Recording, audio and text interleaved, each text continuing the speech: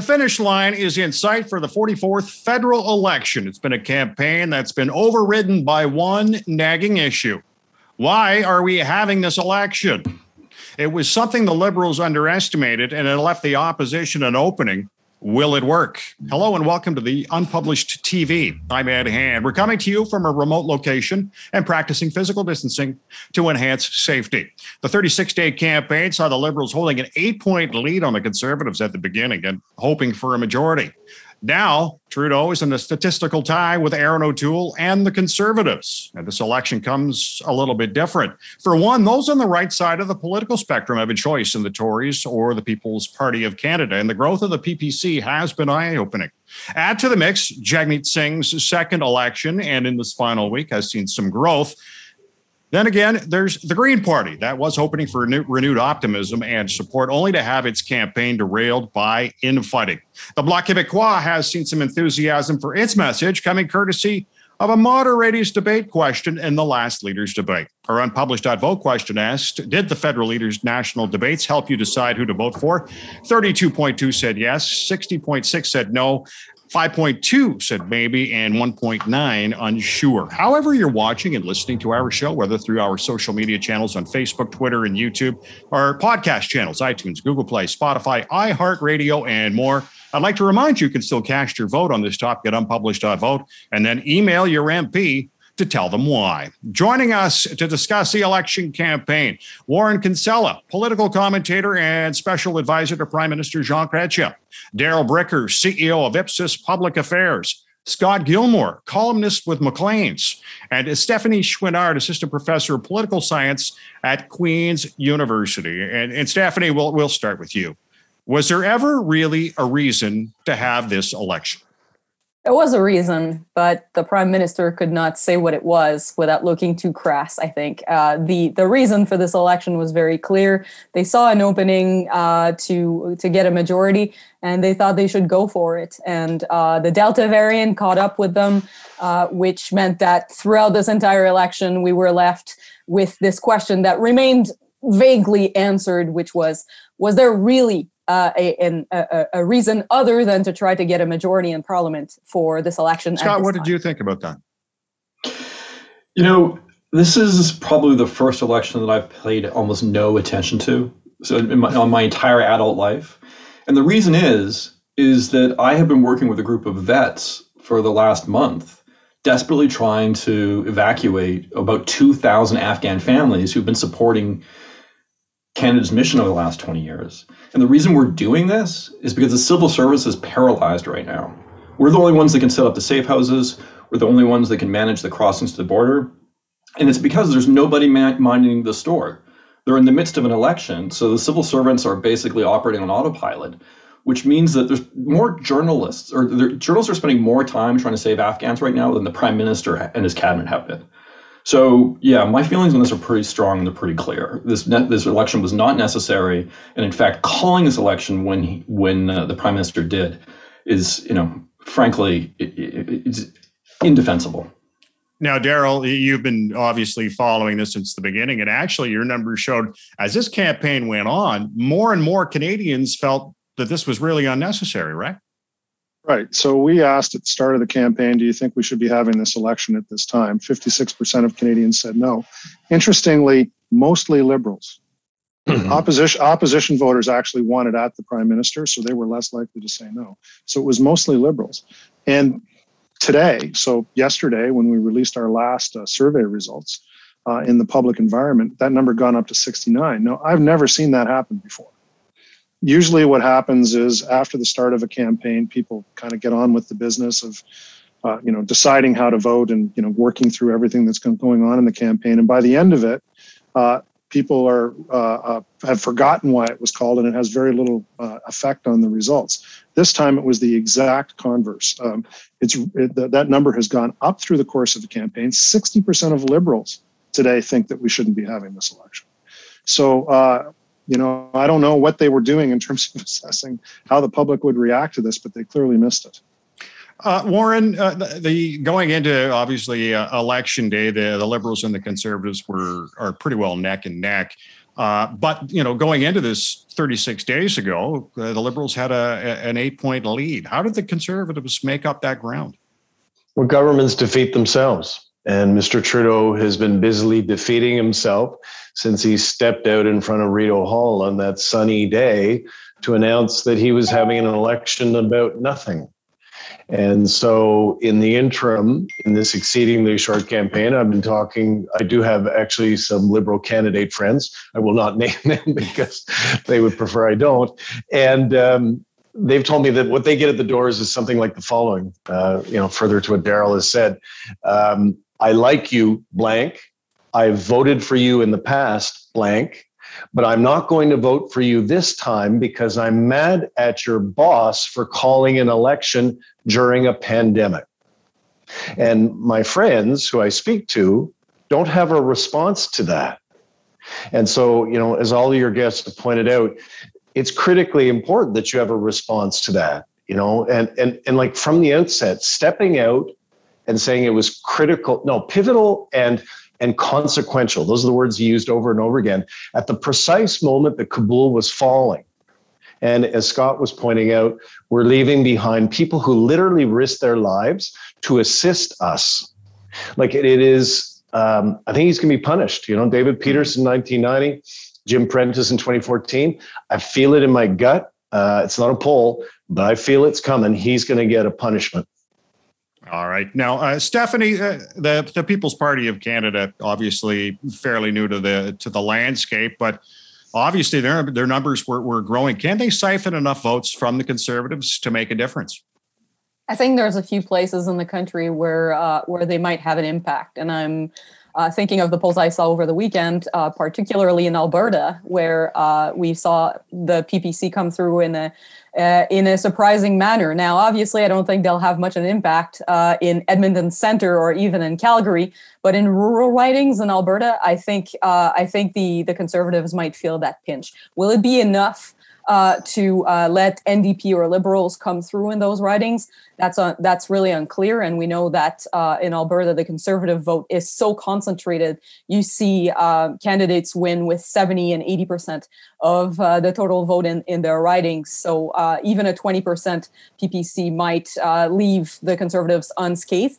Uh, but it, it does, uh, I think, raise some some questions for uh, for the conservatives, especially as uh, we're seeing this party trying to pivot towards the center, and uh, Erin O'Toole bleeding some votes to to the right of his base, and and and we're seeing this. The one question I think we all have at this point is. are what we're seeing in the polls going to manifest at the ballot box? Mm-hmm. Because mm-hmm. with an anti institution, anti system kind of party like the People's Party, uh, what we're hearing in the polls uh, does not always translate the same way as we see with other kinds of voters. So uh, it's still a big question mark, and I think a lot of people are wondering what's actually going to happen with uh, Mr. Bernier and his team uh, tonight. Uh, what do you think, Scott? You know, a lot, a lot of the people, the PPC supporters. I'm not going to say anti-vaxxers, but certainly questioning mandatory vaccines and vaccine passports. Um, do you see them taking away some of the conservative support, especially right on the right? Well, you know, I think maybe Darrell might be able to put some light on this, in particular in terms of how motivated the PPC voter is versus the Liberal voter or the, the NDP voter. So I'm sitting in Ottawa Center. Every year when I go to vote, well, not every year, but every election when I go to vote, it's two minutes in and out of the local school. But now the polls have actually been moved to the nearby university, so I'm gonna have to drive there. And according to Twitter, there's an over an hour long line to, to get there. And by the time I get there end of the day, it could be much longer. And so I suspect we're going to see a lot of Canadians are going to show up at the polling station or they're going to be heading to the polling station. They're going to hear this. And unless they're really, really motivated to stand there for an hour, they're they're going to drop away. So uh, yeah, so over to Darrell. Like, who is the most motivated uh, voter out there right now that's willing to stand in line for an hour to cast their vote on an inconsequential election? Conservative voters. Conservative voters. Mm-hmm. Um, yeah, so we, uh, uh, yeah, the, the Warren was on this, and actually, Scott, you talked about it as well. I mean, the, the real driver of voting in this election is people's reaction to how it was called. And um, so the people who really are most motivated. So we ask people um, uh, in a variety of ways because the single biggest issue in polling these days is not saying how somebody is going to vote; it's figuring out actually who is going to vote. So, um, turnout has become a really difficult problem in the in uh, in trying to predict election outcomes. So we asked poll uh, we asked turnout in a whole series of ways. Uh, you know, one to on a scale of one to ten. You know, will you regret not voting? Tell us if you're going to vote. Do you know where you're voting? You know where you're supposed to vote. We ask a whole bunch of things to figure out whether or not people are going to be voting. And everything that we're asking, conservatives are consistently five or six points ahead of the liberals on that. Hmm.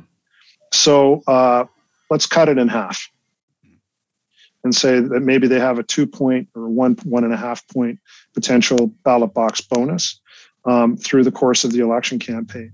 Um, those are the people who seem to be the most motivated. The other most voted, motivated voters, and they weren't most motivated until the space of the last two weeks, were Bloc Québécois voters. Mm-hmm. Um, so uh, I think uh, I don't know who mentioned the debate. It really seems to have put some energy into the Bloc campaign, and uh, I don't know what the motivation is for Liberal voters. Uh, it seems to me that the Sturm and Drang campaign that was run by the Liberals about, uh, you know, the hordes coming over the uh, the hill and you know taking Canada back and all that hasn't really had much of an impact. It's hard to find a lot of passion in the liberal vote right now. So when you add all of this all of this up, what does it lead to? I don't know, but it's something that I'm watching really closely as we're going through. Uh, you know, we're doing an exit poll and, and, and take, trying to get some sense of what's going on.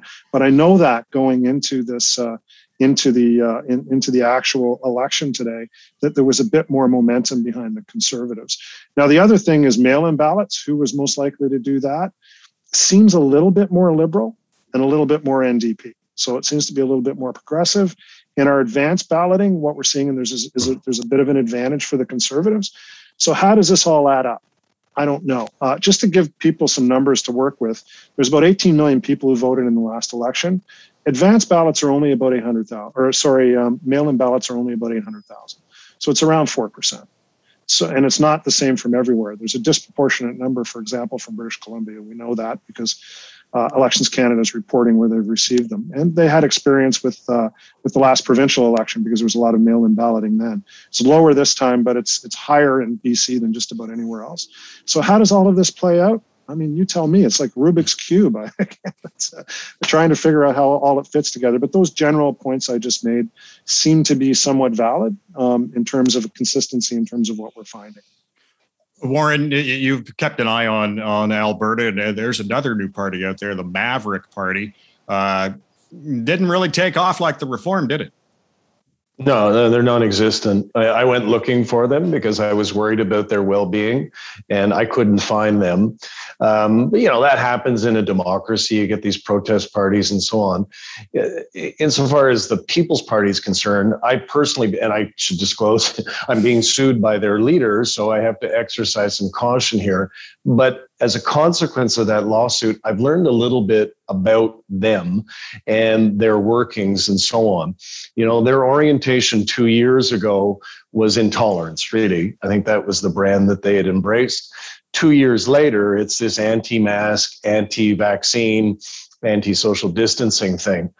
The thing that I don't know the answer to, but I'm watching for today, as well as my colleagues at Postmedia, is well, if they don't you know want to mask up and they don't want to social distance how are they going to vote? Just the simple mechanism of voting because what's going to happen is if they show up at a polling station and refuse to mask up as a consequence of provincial regulation well they're not going to be allowed to vote. So i think there's an assumption that a lot of people have made that the people's party kind of person is going to vote but I'm not so sure that that is the case. They don't like democratic institutions. So are they going to embrace the democratic institution of voting? I don't know. Stephanie, the NDP uh, has seen some gains in the last little week. Uh, and as we mentioned off the top, the Liberals and Conservatives pretty well neck and neck. So that could, towards a minority, that could leave the NDP as a kingmaker. Uh, now, uh, Jagmeet Singh has obviously worked with Justin Trudeau for the last two years, but the NDP and the Conservatives, you don't really see working well together. Uh, how do you see that? Well, Mr. Singh sort of responded to that question already uh, and got some flack for it in a number of respects by saying, you know, whoever's uh, in government, if it's not us, uh, will will be uh, willing to to work with them. Now, it's obvious when you compare platforms that uh, there's a lot more to work on from the N- NDP standpoint uh, with the Liberals, in part because the Liberals stole some of their ideas, quite frankly. Uh, but uh, from from the conservative side, uh, it's going to be a little bit tougher. I can see some uh, some way where they could reconcile on workers' rights, for example. Uh, the conservatives have come out pretty strongly on that part of their platform. Uh, I think I think that that is Mr. O'Toole's doing, trying to to appeal to the union vote, which is not something that conservatives have been doing very well in in the past. So I think I think there are some points on which they could work together, but uh, but the agenda of a uh, you know pseudo loose coalition between conservatives and NDP uh, would find the end of that agenda pretty quickly, I think, and, and, and I think the, uh, uh, the the conservatives would have to try to find a new kingmaker, possibly along the Bloc Québécois, where obviously there are also uh, points of um, uh, uh, of reconciliation between the two parties, notably on the question of jurisdiction. Uh, the the, the uh, this idea of a federalism of partnership that appeals to uh, a, a Bloc Québécois uh, electorate, and, and, you know, Mr. O'Toole again made no secret that he was trying to to to steal some of the voters from from the Bloc base. Now, in the past two weeks, I think we're seeing that that is probably not going to materialize at the polls today. Uh, but uh, but I think uh, the the bloc could also help bolster a conservative government if Mr. O'Toole finds himself in the in the driver's seat. Scott, I'm wondering, you know, uh, Jagmeet Singh and Erin O'Toole working together. Uh, is that something Canadians want to see? They, because let's face it, we have seen nothing where nobody wants to get along. It has to be one party's way or the highway and I think Canadians are a little tired of the sort of the, the posturing and, and they just want to see things done. Do you think the those two men can work together? What was a Bill Murray line from Ghostbusters? Cats and dogs living together. Yeah. You know, pure anarchy. It, it's entirely possible. Here's the thing about Canadian politics that I think a lot of Canadians don't realize is that almost the entire Canadian political spectrum would fit quite comfortably inside the Democratic Party in the United States. And we've seen that actually with the endorsements recently of Bernie Sanders endorsing uh, Singh and, and Hillary Clinton and, and Obama endorsing uh, Trudeau. So these three parties, if we could imagine a scenario where either one of them found themselves in a minority or a majority, what Canada would look like two, three, four years later wouldn't be wildly different you know, Canadian parties they they do a lot of posturing on the stump, but when they're sitting in office, they almost all apply the exact same uh, ideology, which is very Canadian, and it's called muddling through. You know, they'll work it along. There'll be some back and forth, but uh, it's it's not going to be the end of the days. We're not going to see the Stay Puft Marshmallow Man marching down uh, to to take uh, Parliament Hill. It's uh, it's going to look a lot like it did 32 days ago. Darrell, the Green Party, it seems it was done. Can I just talk about the NDP for a second? Yeah, sure. Jump in. I, I, think it's uh, we're uh, just another thought to put on the table uh, for everybody to consider. Sure. I I'm um, actually really interested in the way that Jagmeet Singh has run this campaign. And the reason that I'm interested in it is he seems to have gone through a transition. I think when he came into his job, he thought he was Ed Broadbent, and now he thinks he's got the potential to be Jack Layton. And the difference between, because uh, Warren's old enough, maybe Scott is too, to remember all of mm-hmm. this. Uh, the difference between Ed Broadbent and Jack Layton was they had different missions. Ed Broadbent saw himself as the conscience of Parliament. Uh, his job was to uh, find a way to hold whoever was going to be in power to a minority, hopefully a Liberal Party, and be the conscience of Parliament to make sure that progressive legislation was passed in order to keep the Liberal government alive. Jack Layton, that was not his mission. His mission was to destroy the Liberal Party. He believed that there was going to be one progressive option. It was going to be the NDP. And he was prepared to even work with Stephen Harper, because remember, he kept him in power mm. twice in 2008 and 2006. Uh, along with uh, you know a, a deflated Liberal Party, he didn't really want elections, but Jack Layton was an instrumental part of this, kept them alive because what he wanted to do was to destroy and displace the Liberal Party. And he certainly achieved that in 2011 to large measure. Now, in 2015, Thomas Mulcair could not continue with that, that mission, but that's the, the possibility. And if you watch Jagmeet Singh in this election campaign, even during the debate, which was the best time to see it, he never talked about Erin O'Toole. He only went after Justin Trudeau. In fact, he agreed with Erin O'Toole at least two or three times that I saw. So I think what's happened is that Jagmeet Singh is going through this transition from being Ed Broadbent to taking on the mission of Jack Layton, which makes the possibility of actually working with Erin O'Toole or maybe working with the Bloc and, and Erin O'Toole a serious possibility, not because of their agendas, because they're clearly different, but because he sees the um, the uh, uh, the uh, the Liberal Party as being, you know, the apostates of the progressive agenda. He wants to take that position. So I, I actually think there's more possibility of that than I think a lot of pundits are, are, are suggesting right now. What do you think, Warren? I agree with Darrell. I think that uh, Jagmeet has run a great campaign. At the outset of his leadership, he was a fiasco on fundraising, caucus relations. Uh, he couldn't get a seat in parliament. You know, people were counting the days until his demise. He is an entirely different politician. And um, I didn't think he was terribly effective in the French debates, but it probably there wasn't a lot of pickup available for him there. But in the English debate, you know, he was one of the voices who dominated and that matters. And so shortly thereafter, Darrell and others started to show that he was uh, had momentum in places like the Lower Mainland, and in fact was in first place for quite some time.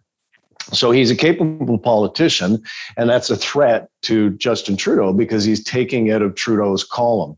And, you know, that is the problem Trudeau's got at the end of this Seinfeldian election about nothing, is that you know, he's fighting a war on three fronts, with the bloc resurging as a consequence of the debate stuff, uh, the Tories resurging as a consequence of O'Toole is not a neo-Nazi, so that was hard for them to pin that on him.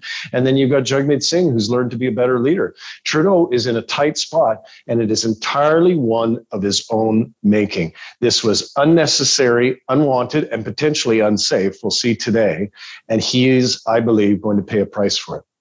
Stephanie, the Green Party, it seemed, was done before it started, the infighting, uh, losing an elected candidate as the campaign started. First off, can Annamie Paul win her seat? And secondly, will the others retain theirs? I do not see a path for Annamie Paul to win the seat in Toronto Centre. Uh, shy of a freaking miracle, uh, I, I, I really don't see how she can uh, dislodge Marci Ien. Uh, quite uh, quite frankly. Um, the uh, the seat in Fredericton where Jenica Atwin uh, won for the Greens in, in 2019 uh, before defecting uh, to the Liberals seems to be like a CPC LPC race right now uh, from from what I've seen and what I'm hearing uh, on, on, the ground. it doesn't seem like Nicole O'Byrne is going to be able to keep that one for the Greens. in fact, and and I think this also speaks to Annamie Paul. Nicole O'Byrne asked Annamie Paul not to go to Fredericton because she thought that uh, it would do more harm than good to to her own campaign. But it doesn't seem like uh, uh, Miss O'Byrne's campaign has uh, has lifted off. Um, Elizabeth May seems like she's in a in a, in a good position in uh, Saanich Gulf Islands. Uh, she might be the only Green left after this election. Paul Manly. It, it, his writing is not spoken for at all. he seems like he he was having a hard time. Where we might see an interesting win might be in Kitchener Center uh, with the uh, the dropping of Raj Saini uh, from the Liberals after the uh, several allegations of, of uh, sexual misconduct. Uh, it was kind of a, a, a, tie between the NDP and the Greens, and it seems like Mike Morrice has taken the lead there over Beisan Zubi. So, so that's going to be one to watch tonight for sure. And that would be probably the only thing that would be considered a win for the Greens because they've had, you know, no gains in Ontario for um, at the federal level in their entire existence. Uh, obviously, it's not surprising that Kitchener would be a place where uh, the Greens would be able to to come through, but uh, but that I think that would be uh, that, that that would be nice for the Greens to have Mike Morrice alongside Elizabeth May. Uh, you know, Scott, re- regarding the Greens, uh, obviously it has not been a great way to run a campaign, start a campaign, and, and probably finish a campaign. But how does this party try and, and rebuild again? You know, John Ivison made uh, the National Post columnist made an interesting comment uh, yesterday on about how much he was enjoying following the the Singh campaign, and because, as he said it, uh, they're the last ones who actually believe what they're saying. And I actually I think the Greens possibly fall into that category as well. There's a real shortage of sincerity in Ottawa, and Canadians want to see more sincerity. Right now, I think even liberal voters don't necessarily believe that Trudeau is going to come through with half of his promises. conservative voters are distrustful of O'Toole. They know that he moves back and forth depending on, on the audience and, and, and the day. And there's a real lack of authenticity. Um, Canadians realize that the vast majority of people who show up in Ottawa, um, maybe this is unfair, but I would say you know, the majority of people that show up in Ottawa are here because they want to be somebody, not because they want to do something. And the, what the Greens bring to the table and the NDP bring to the table is that they're just naive enough to think that they can they can make things better, they can change, they can implement their policies. And so, if the NDP or Singh after the election can tap into that, I think there really is actually a future for these parties. I think that that that they are politics in a different way. They're more accessible. I think they're more representative of the nonpartisan Canadian. And uh, honestly, we, we, we, need them. It would be nice to see those voices back in Parliament. Darrell, uh, the Bloc, uh, Bloc Québécois was sliding until the English language debate, and then all of a sudden, a reversal of fortune. Uh, what's a rejuvenated Bloc mean for the battleground of Quebec? Well, that was the place where Justin Trudeau was going to make up for what he lost potentially in Atlantic Canada and in Ontario. And it looks to me like, based on the polling and consistently, not just ours, Leger, other polls, and I have a lot of time for Leger in Quebec. Um, the uh, it, looks like the the bloc vote that lacked, uh, I would say, a spine until the debate now has developed a spine. I don't think that it's expanding. The bloc vote isn't expanding, but I think it's more animated. It's got more energy, and certainly Blanchet's numbers have been going up since the debate. Uh, it's given them a reason to, you know, focus back on what traditionally drives drives uh, bloc voters uh, um, in, in the province, just like Péquistes. And uh, so I think that uh, um, the, the role that they're going to play is not so much uh, in terms of their own position in parliament, although if we get into minority negotiations, it could have they could have more of a role. But what it's going to do is deny Justin Trudeau the place where he really needed to do well in order to win his majority. Because frankly, he'd already Trudeau's already won everything he's going to win in Ontario. He's probably going to lose some today. today. Uh, and in British Columbia, they're running in third in most of the polls that I'm seeing. So there's no place of any substance where they can make up what they lose in in in Ontario. So they've got to win in a place like Quebec where there's 78 seats. And it looks like they're going to do no better this time than the last time. Maybe they'll swap swap a couple of seats back and forth. Maybe they'll pick up one from the Conservatives or whatever, but not 10 not 15. Mm-hmm. Uh, Warren, uh, the riding of Vancouver Granville, Jody Wilson Raybould, obviously not running. So that means there's no incumbent in that riding. Do you see that as being a bellwether for the final result of the election? No, because the Liberal candidate, he's the skipper of house flippers um, and uh, pretty disreputable person from what I know, the people I've been speaking to in Vancouver. So the Liberals richly deserve to um, to lose there. Um, but you know, you give me an opportunity to talk about uh, my friend. I think uh, Jody Wilson Raybould is the type of person that Scott was talking about earlier. That is what we need in our politics. At the end of this painful, unnecessary 36 day exercise, I think you know a lonely nation is going to turn its eyes to people like Jody and whatever political party she comes back to. And I, I don't know if she will, but that's what we need more of because this campaign has been cynical and dishonest and uninspiring. And uh, I don't know what impact that will have on turnout, but God knows we need some change in Ottawa. And uh, the people, the options that are there at the moment don't seem to be delivering it. All right, folks, uh, we're coming up to the end, and let's uh, let's just go around the horn. Uh, predictions, uh, just final predictions. We won't go with numbers, and we'll start with you, Stephanie. What do you expect is going to be the result of tonight? A minority. I have no idea which color, to be All quite right. honest. Scott? Reduced liberal minority. All right, Darrell. You know, every election I usually know better than any just about anybody because I have access to data. I legitimately can say today I simply don't know. I agree with Stephanie. I think that that's the most accurate assumption. I mean, if the you know if you change one point in Ontario or, or you know in the 905, five or six seats go over from one side to the other. So, uh, you know, I don't disagree with Scott's assessment. I, I think that that's probably a, a, very logical conclusion, but I don't think it's a, I don't even think he would argue it's a certain, it's a certain conclusion. Yeah. Uh, it's uh, it's a it's the most confusing election I, I remember since 2004. What do you think, Warren? Any prediction? Well, when uh, he was in majority territory, I thought Trudeau would get a minority. I'm not sure about that anymore. Anymore, but I, you know, I feel better now saying what Darrell and Stephanie has said. I, I don't have a clue. Uh, it makes it more fun for those of us who comment on elections. Maybe not so fun for the country, but like I don't know. So I guess we're going to find out. We've never had an election. Well, we haven't in a century during a pandemic before. Um, and I think that's going to be a fairly large factor in turnout and people's attitudes and so on. So I guess people have to tune in and find out. All right. Uh, well, I want to thank our guest today on Unpublished TV, Warren Kinsella, political commentator and special advisor to Prime Minister Jean Chrétien. Darrell Bricker, the CEO of Ipsos Public Affairs. Scott Gilmore is a columnist with Maclean's Magazine, and Stephanie Chouinard, assistant professor of Political Science at Queen's University.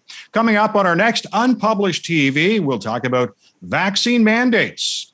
Thanks for watching Unpublished TV. Stay safe. I'm Ed Hand.